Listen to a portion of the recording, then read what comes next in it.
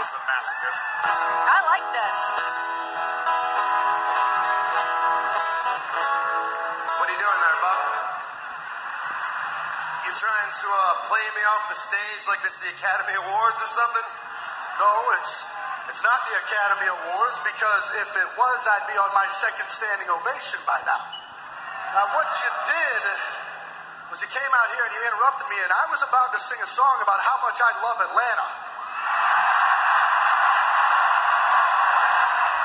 I mean, Atlanta is just so fascinating to me, you know? It's you know, Atlanta is fully capable of hosting the Super Bowl. Winning it, now, that's an entirely different story.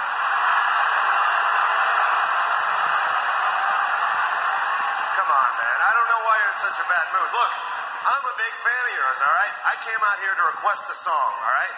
Do you know any Temple of the Dog? Night Ranger. Yankee Doodle. Of course. Thunderstruck. Yes. Or is it time for Dirty Deeds?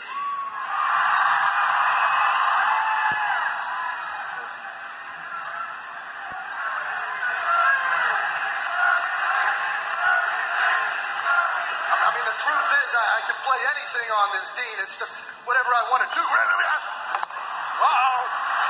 Oh, Spring of the Devil, Dirty Deeds.